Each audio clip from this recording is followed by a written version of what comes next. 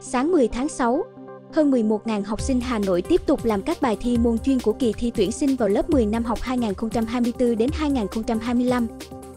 Mưa kéo dài từ đêm qua đến sáng sớm nay khiến việc di chuyển của nhiều thí sinh ở Hà Nội đến điểm thi vất vả hơn. Tại các điểm thi đều có lực lượng thanh niên tình nguyện túc trực để hỗ trợ che ô, hướng dẫn thí sinh bước vào khu vực thi. Các thí sinh thi môn chuyên đăng ký thi hệ chuyên vào 4 trường chuyên và trường có lớp chuyên trực thuộc Sở Giáo dục Đào tạo Hà Nội, gồm Trung học phổ thông chuyên Hà Nội Amsterdam, Trung học phổ thông chuyên Nguyễn Huệ, Trung học phổ thông Chu Văn An, Trung học phổ thông Sơn Tây. Điều kiện xét tuyển vào lớp 10 chuyên của các trường trực thuộc sở là thí sinh phải tham dự đủ 3 bài thi lớp 10 trung học phổ thông công lập không chuyên được tổ chức trước đó.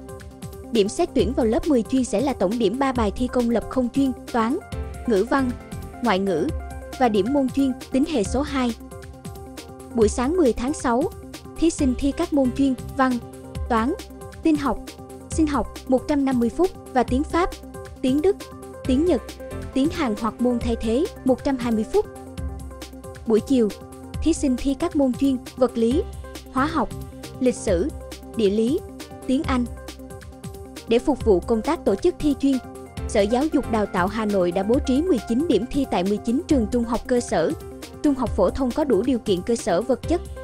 Các điểm thi này cũng là địa điểm thi diễn ra kỳ thi lớp 10 trung học phổ thông công lập không chuyên trong các ngày 8 và 9 tháng 6.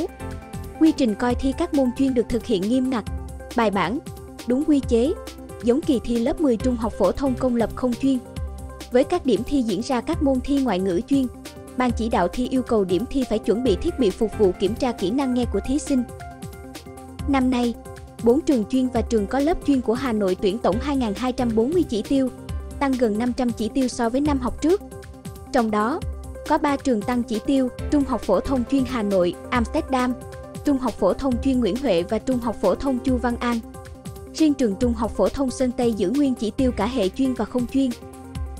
Theo thống kê của Sở Giáo dục Đào tạo Hà Nội, năm nay có 11.191 thí sinh đăng ký dự thi vào 4 trường trung học phổ thông này. Trường Trung học phổ thông chuyên Nguyễn Huệ đông nhất với 4.335 thí sinh đăng ký.